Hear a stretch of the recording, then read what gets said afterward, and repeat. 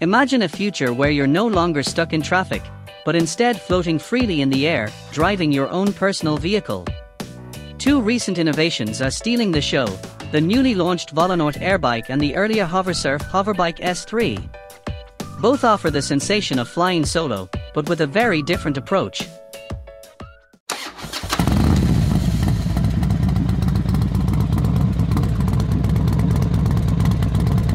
Launching on May 1, 2025, the Volonaut Airbike is the masterpiece of Thomas Patton the man behind the Jetson 1. It looks like a real flying motorcycle, incredibly light 7 times lighter than a superbike thanks to carbon fiber materials and cutting-edge 3D printing techniques. With no protective frame around the pilot, the sensation of flying is raw, open and immersive. It's not just a means of transportation, it's an experience a statement about freedom, bravery, and technology beyond limits. On the other hand, the Hoverbike S3 from a Russian company based in California offers a more mature and structured approach.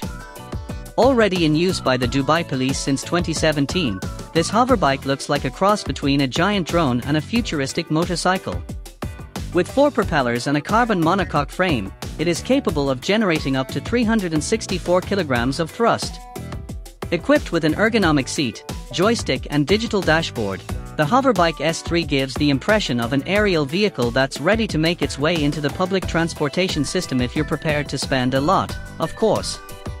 The airbike can accelerate to 200 km per hour with full visibility and a smart stabilization system. The Hoverbike S3 is slower about 96 km h but excels in safety features like emergency landing and impact protection. Two different approaches, one pure freedom, the other full control. These two vehicles point to different directions for the future.